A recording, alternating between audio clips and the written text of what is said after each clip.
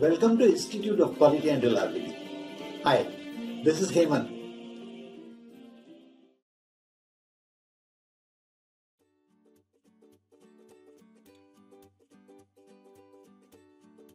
Hypothesis Testing Part 6 Chi-square Test of Association Contingency Tables Before watching this video, we recommend viewers to watch our previous videos on hypothesis testing. Part 1 is Introduction to Hypothesis Testing and One Sample Z Test, the chi-square distribution, and the chi-square test for one variance. Links to these videos are provided in the description of this video. When should we use the chi-square test to compare groups? Consider the following examples. A company has four plants producing same model of refrigerator. The company wants to find out whether failures in the four plants are equal or different. HR department of a company receives a complaint that promotions in some departments are more compared to others and they would like to investigate whether this is likely to be there or not likely to be there. A researcher wants to compare exam performance of different regions to assess quality of education in these different regions. So let us see the null and alternate hypothesis in chi-square test. We want to find out whether proportion in different groups is equal or significantly different. The null hypothesis will be H0, all groups have the same proportion. The alternate hypothesis will be H1, some groups have different proportion and this would be a one-tail test with alpha risk distributed on right tail. Remember, in this particular case, we will always look at the right tail value of the uh, chi-square distribution. The reason is that whenever the groups are different, the chi-square value tends to get larger and larger. Therefore, we need to only look at the right-tailed value of the chi-square distribution. You can calculate the chi-square statistic with this formula chi-square calculated value equals summation of observed values minus expected values bracket square upon expected values. O is the observed values and E represents expected values under null hypothesis. This chi-square calculated should be compared with critical value of chi-square distribution with r minus 1 into c minus 1 degrees of freedom where r is the number of rows and C is the number of columns in the table excluding the totals row and column. We have already explained about chi-square distribution in our previous video. Chi-square alpha denotes value such that the area to the right is equal to alpha. Let us consider an application example. A hospital has collected data of four surgeons performing similar operations on patients. It is shown in the table. So there are four surgeons and the first row shows the number of successful operations and the second row shows number of operations which were not successful. The question is, is there a significant difference between the success rates of the surgeons? Assume confidence level of 95%. So here the null hypothesis H0 will be all surgeons have equal success rate while as H1 one or more surgeons have different success rates. Let us now see how to solve this problem on Microsoft Excel. The observed data is shown in blue color. The first row shows number of successful operations by the four surgeons and the second row shows number of operations which were not successful. First we will take the row totals and the column totals. So the column totals can be taken just by clicking the sigma sign and copying that value. These are the column totals and similarly we can also take the row totals and I just copy this total number of uh, operations were 594, out of which 564 were successful. The null and alternate hypothesis is written here. Under null hypothesis, all surgeons have equal success rate.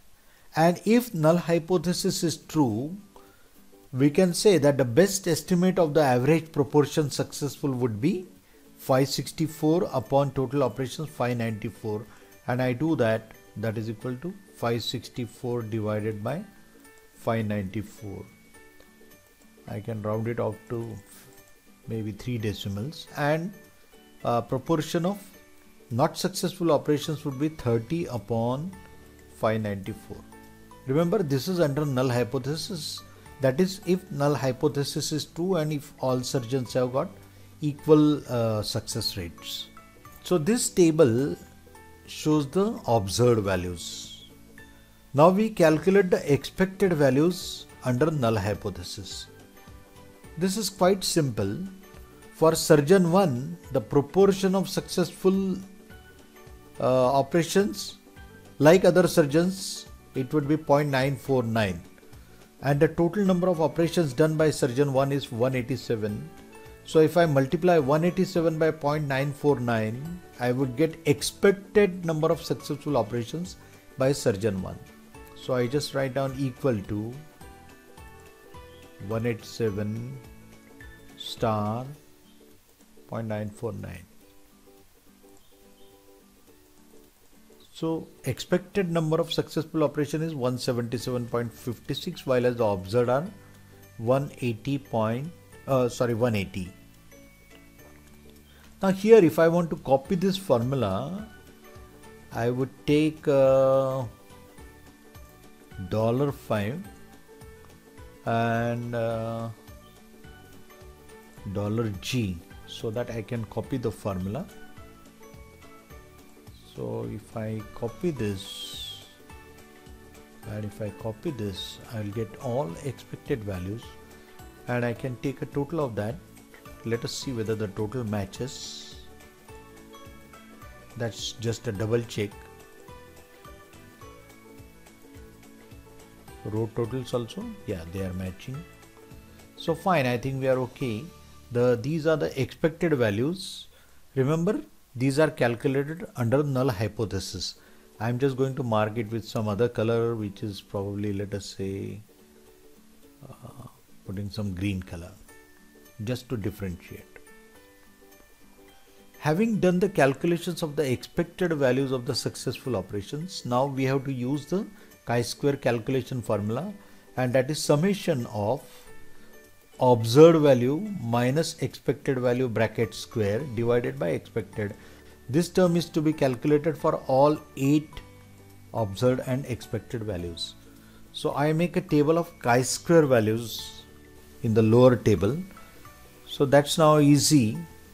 It's equal to into bracket observed minus corresponding expected bracket square and divided by expected that is 177.5. So the first chi-square observed value is 0.033. I can copy this value everywhere and I can round it off to maybe 3 decimals or 4 decimals. Now I want a total of this. So total of chi-square would be here. Of course I don't need the column totals here but that's easy so I will also take a total like this and like this and then like this so the total chi-square value I mark 7.65 now what is this this is calculated value of the chi-square statistics which we wrote with this formula summation of O minus E bracket square upon E this is a calculated value. How do I compare this with or what do I compare this with? I must compare this with a chi-square value of certain degrees of freedom. Now the degrees of freedom were seen as row minus 1 into column minus 1. The number of columns is 4 surgeons therefore 4. The number of rows is 2 because successful and not successful. We cannot include the totals row remember. So we put two rows here. So the degrees of freedom would be 4 minus 1 star columns minus 1 columns minus 1 so that's obviously 3 alpha risk is given as 0.05 now I use the Excel formula for chi-square critical value and which is equal to chi inv.rt remember since this chi-square value is always going to inflate when the differences are large we always look at the right tail value of the chi-square distribution so uh, the probability is alpha risk 0.05 degrees of freedom is 3 this is your critical value of the chi-square which is 7.8 at 5% alpha risk. Now here the calculated value is 7.65 while as critical value is 7.8 so we cannot reject null hypothesis because the calculated value is smaller than the smaller than the critical value. Now I can also calculate the p-value so I'll just write p value. Now how do we calculate the p-value I will use another excel function that is chi-square distribution right tail. And this is at the calculated chi-square value 7.65 comma degrees of freedom again has to be 3 so this p-value is 0.054 so if we want to reject null hypothesis, it will we will be able to reject this at confidence level.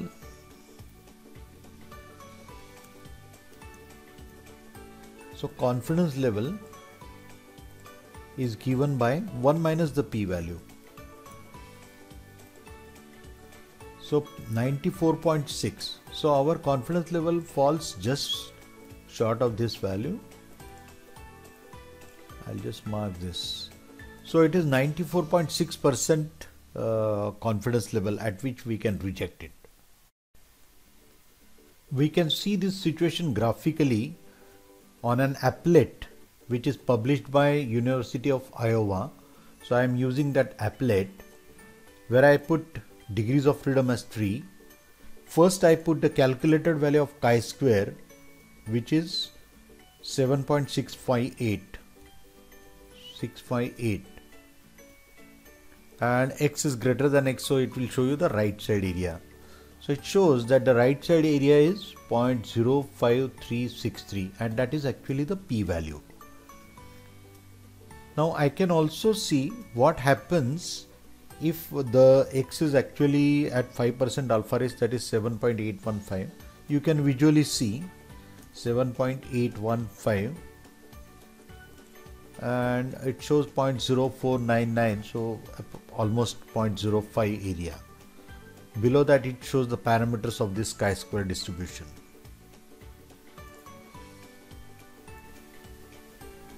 You can also use our template for hypothesis testing and you can download the same from our website www.world-class-quality.com or you can write to us on email id ioqr at world-class-quality.com. In this template, you just need to provide input in the blue squares. So first I provide the name of the groups as surgeon and you can see that it now becomes surgeon 1, 2, 3, 4. Then I can say the first row as successful and the second row as not successful or unsuccessful and I can now input the data for first surgeon it is 180 successful 7 not successful surgeon 2 125 successful 5 not successful. Surgeon 3 164 successful. 7 not successful. Surgeon 4 95 successful. 11 not successful. The moment I do that, I can see the expected values uh, in the lower table and the chi-square value in the last table and the totals of uh, the chi-square values. The total of the chi-square is 7.658 degrees of freedom as 3 critical value of chi-square at 5% alpha risk is 7.815 and the p-value is 0.054 so the conclusion is same. You can note that uh, the largest chi-square contribution is from surgeon 4 so surgeon 4 is the uh, is the one having largest difference compared to the other surgeons. You can conclude like that. Of course this table at the moment is limited to uh, four columns and two rows but we may be uh, adding more tables to this template later on. You can also see templates of z-test and t-test in the other worksheets thanks for watching this video hope you found it worth watching please subscribe to institute of quality and reliability channel if you want to watch more videos on reliability engineering, Six Sigma and statistical quality control. Click on the subscribe and bell icon to get notified for future videos.